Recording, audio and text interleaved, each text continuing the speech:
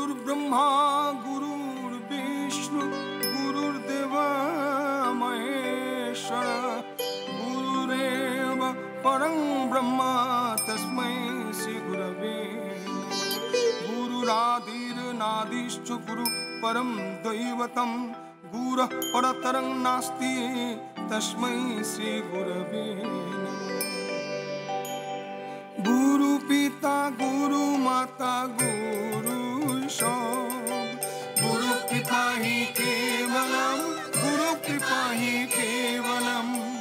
गुरु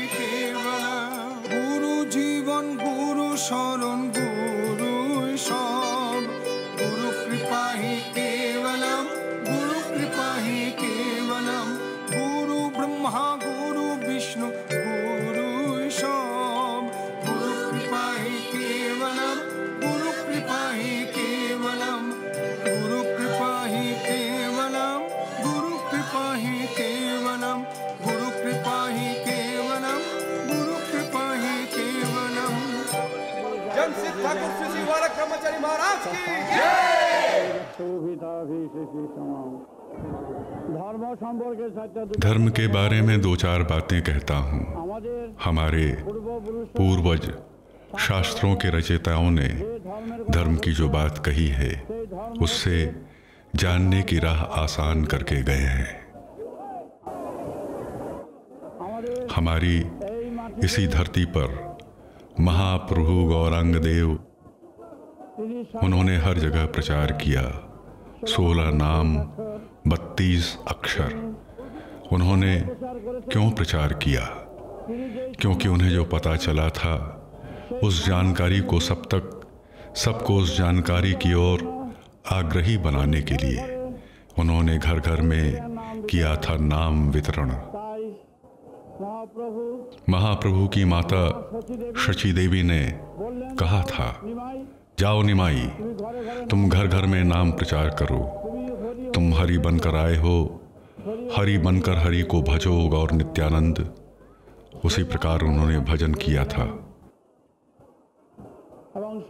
और सभी के भीतर नाम वितरण किया था। उस नाम का जो अर्थ उन्होंने पाया था। सभी शास्त्र, वेद, वेदांत उपनिषदों से पाया था। आकाश की ओर अपने दोनों हाथ उठाकर महाकाश के सुरों से जो ध्वनि उन्हें मिली थी, वो ध्वनि थी, हरे कृष्ण, हरे राम, सोलह नाम, बत्तीस अक्षर। कृष्ण है महाकाश, जिसकी सीमा नहीं है। उस सीमा विहीन सुर और नाम में वे सदा सर्वदा तन्मय रहते थे। उसी से आई है धारा, वो है राधा। उस महाराधा को पहचानो। पहचानने की चेष्टा करो। यहाँ राधा कृष्ण की युगल मूर्ति की पूजा होती है। वो धारावाहिक जो पूजा, उसी से धारा, पृथ्वी, सृष्टि उन्होंने कहा था, जो पथ मेरा है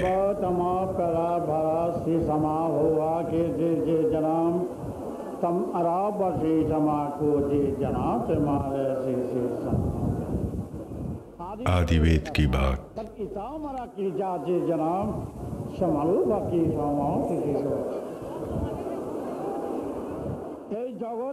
इस जगत की सृष्टि हुई है, शब्द ध्वनि नाद से, जिसे कहते हैं मूलाधार, स्वाधिष्ठान, मणिपुर, अनाहत, विशुद्ध, आज्ञा सहस्त्रार की सुरध्वनि मिलाकर सुर बना है। हरे कृष्ण, हरे राम।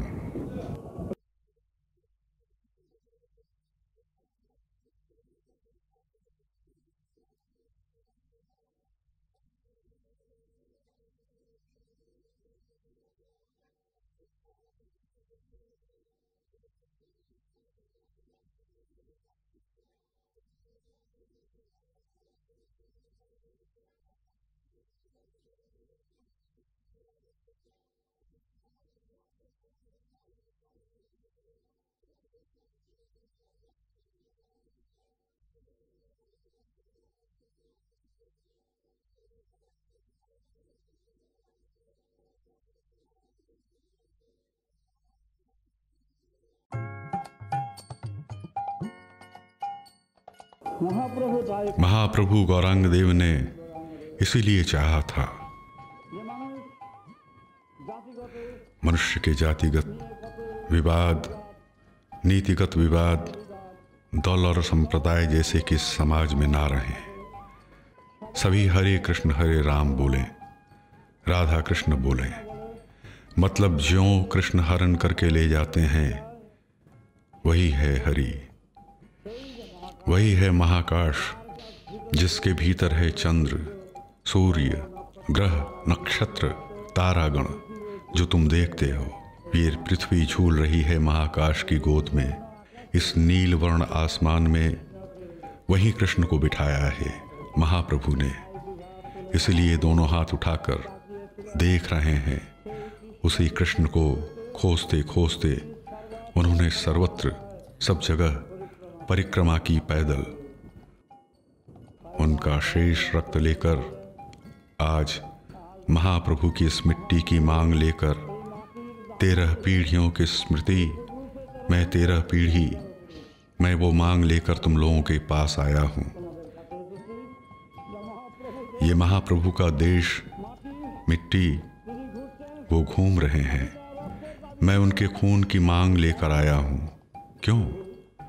धर्म को लेकर मनुष्य खेल खेल रहा है। धर्म को लेकर मनुष्य व्यापार कर रहा है। महाप्रभु को ये पसंद नहीं था।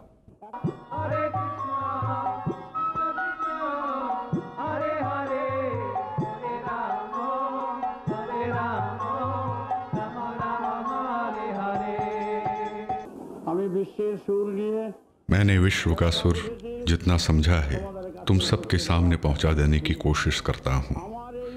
हमारे इस वंश में हमारे रक्त में तुम्हारे गाँव और गाँव के इलाके में जिन्होंने पैदल परिक्रमा की थी, वही हरे कृष्ण, हरे राम, सोलह नाम, बत्तीस अक्षर। वही हैं हमारे वंश के गौर हरि महापुरुष श्री गौरांग देव महाप्रभु गौरांग देव की माँ, उनका परिचय देना ज़रूरी है। अहंकार नहीं यह हमारा गौरव है। महाप्रभु की माँ थी शशि देवी शशि देवी के पिता थे नीलाम्बर चक्रवर्ती। नीलाम्बर चक्रवर्ती के पुत्र विष्णुदास चक्रवर्ती बहुत विराट पंडित थे, विलक्षण थे।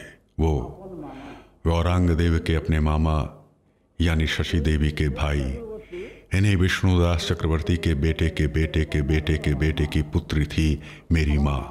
मेरी माँ के पिता थे अंबिकानाथ विद्याभूषण। उनके पिता का नाम था हरनाथ शिरोमणि।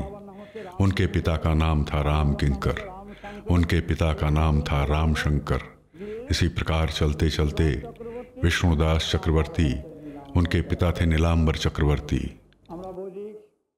हम वैदिक सामाजिकता की ओर से कन्नौज से लेकर आए थे बल्लाल सेन।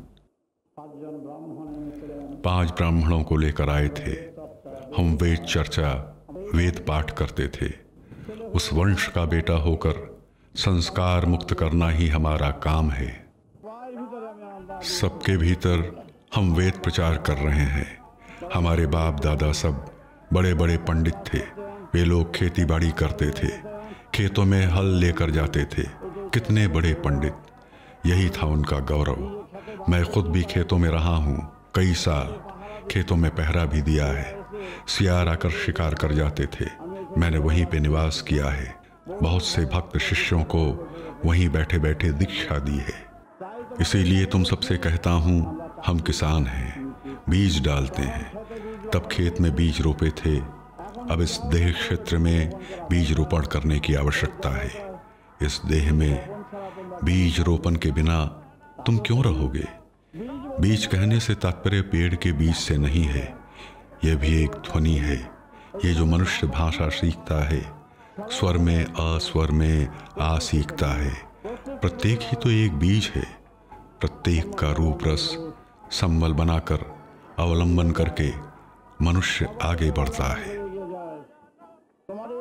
तुम सबके अंदर मैं जो बीज फैलाने आया हूँ, इसी को महादीक्षा कहते हैं। दीक्षा लेने के लिए कोई दक्षिणा नहीं लगती। इस देश में जो दीक्षा देते हैं दिन मुहूर्त देखकर वे रुपये लेते हैं, कपड़े ले लेते हैं। लेकिन आदिवेद में गुरु शिष्य का जो संपर्क है, वो मधुर संपर्क है। वो अर्थ के बदले नहीं है, रुपयों के बदले नहीं है। वहाँ दीक्षा देकर कोई अर्थ ग्रहण करना निषेध है।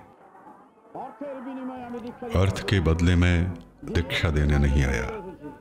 दिल के बदले दीक्षा देने आया हूँ। और महाप्रभु का रक्त वहन करके तुम्हारे रक्त के साथ मिलाने आया हूँ। महाप्रभु दो हाथ उठाकर महाकाश की ओर देख रहे हैं। उनका रक्त तुम लोगों के पास ले आया हूँ। मेरे रक्त के साथ एक करने के लिए आया हूँ। हम वो उद्देश्य सफल करने के इच्छुक हैं। सभी मिलकर इसे सफल कर सकते हैं। हम एक मिट्टी की संतान हैं, एक आकाश, हवा, जल की संतान, एक सूर्य की संतान। हम सभी एक जात के। मैं ब्राह्मण, तुम क्षत्रिय, तुम वैश्य नहीं हो, तुम नीच, शुद्र भी नहीं हो। एक इंच के बीच हमारी साँसें चल रही हैं। एक सुर में रहकर हमारे बीच विवाद विक्षेद क्यों रहेगा? बोलो। आओ, हम सब एक जाति होकर, गले से गले मिलकर, हृदय से हृदय मिलाकर, विराट कार्य में व्रती हूँ। और समाज की रक्षा करें। धर्म है सुर, इसे छोड़कर जो धर्म है, वो अवास्तव है। धर्म है वास्तव, धर्म है वस्तुभित्तिक, वस्तु का अस्तित्व, तत्व खोज निकालना ही है धर्म। जो धर्म सीमाबद्ध है, वो धर्म धर्म नहीं है। धर्म होगा ऐसा कि सबका धर्म हो। उस धर्म में कोई किंतु नहीं रहेगा, संस्कार नहीं रहेगा। रहेगा एक स्वच्छ, गिरता, पवित्र सुर, जो सुर सभी ग्रहण कर सकें। सिर्फ़ मनुष्य ही नहीं, जीव जगत के सभी उस धर्म को ग्रहण करने के लिए बाध्य हैं। वही होगा धर्म।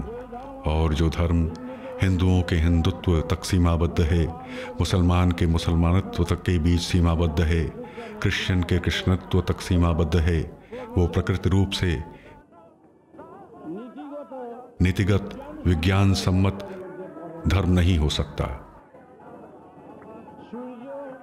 सूर्य सबका है, वहाँ विवाद नहीं है। चंद्र सभी का है, पृथ्वी सभी की है, प्रकृति का सुर है धर्म, प्रकृति की धारा ही है धर्म। धर्म में है एक सौ आठ बातें, विश्लेषण करके तुम लोगों तक पहुँचा दूँ तो तुम सब सर पे हाथ रखकर सोचोगे, यही क्या वो धर्म है? मैं किसान हूँ, देह क्षेत्र में बीज रोपण कर रहा हूँ। रुपया पैसा नहीं लगता। दीक्षा देता हूँ। एक कागज़ हाथ में दे दिया जाएगा। उसमें वो मंत्र लिखा रहेगा। मंत्र है सुर, मनन में खनन। और ये है आत्मीयता, हृदयता का स्टाम्प। वो देश को बांधने के लिए, हाथों हाथों में सबके, हृदय में बंधन करने के लिए, उस बंधन सूत्र से, जो रक्त लेकर आया हूँ उस मंत्र के कारण वो रक्त सभी के रक्त के साथ जाकर मिल गया है। इसे हर समय जब करना होगा। किसी तरह के नियम कानून की कोई बात नहीं है। दीक्षा कहीं और ली हुई है तो भी ये दीक्षा ली जा सकती है। पहले दीक्षा संस्कार होता था। अट्ठारह बार जप कर लेना और ये जो बंधन, ये बंधन चिर बंधन के संग जोड़ दिया गया लेकिन जब मैं पुकार लगाऊँगा, तब सभी एकत्रित हो, एक मैदान में आ, एक विराट परिवर्तन की धारा को पकड़कर इस समाज की छाती को हम ठंडा करना चाहते हैं, पवित्र करना चाहते हैं। बोलो, राम नारायण राम, ये महानाम तुम सबका है।